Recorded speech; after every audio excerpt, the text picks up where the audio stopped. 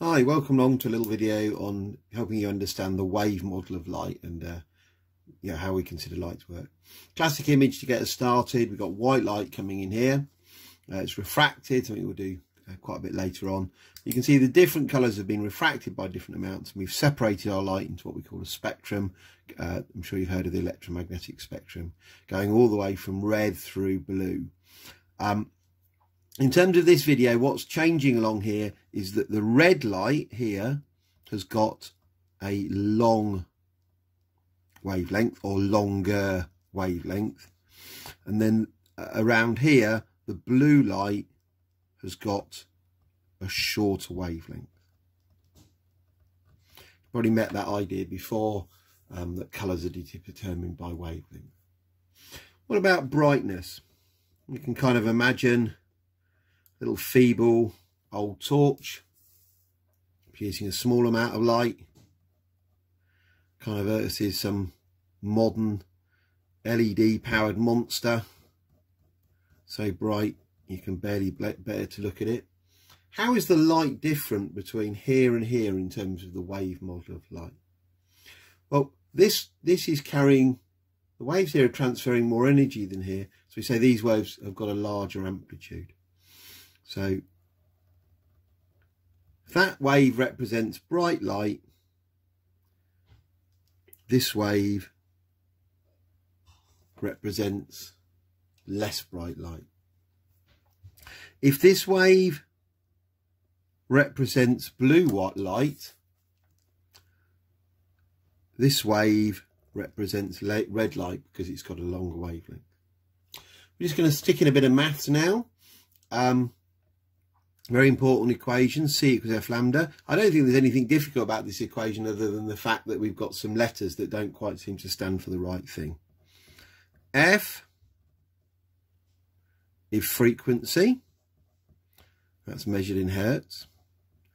Lambda, that's a Greek letter, is wavelength.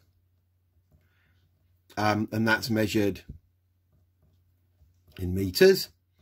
And this is the wave speed. Basically, we haven't got, um, we, we want to kind of not use V or, or, or, S for speed or velocity here. So we reduce to using um, C for wave speed, and that's in meters per second.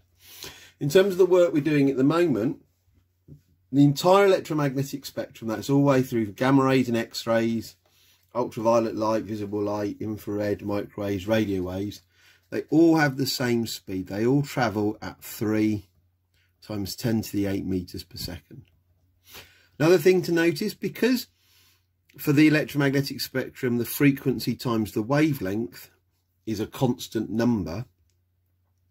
Um, if we make the wavelength longer, go back here, so if this is red and this is blue, if we make the wavelength into a larger number, this has got to be a smaller number. So if we go back up here, because we, these are long wavelength, these are lower frequency and that's going to be kind of really crucial we get our head around that in the next video. Uh, and these because it's a shorter wavelength are going to be higher frequency. Let's go back to the maths at the bottom there just for a moment. So a typical calculation we might need to do so we might be told that the um, wavelength of light is say 500 nanometers. It's really worth knowing that the visible part of light goes from blue light at 400 nanometers to red light it's about 700 nanometers. And it doesn't say officially anywhere in the specification that you need to know that. I find it incredibly useful. So we're taking 500 nanometers clearly in the visible range and we're going to ask ourselves the question what frequency um, must this light have? So frequency is equal to C over lambda.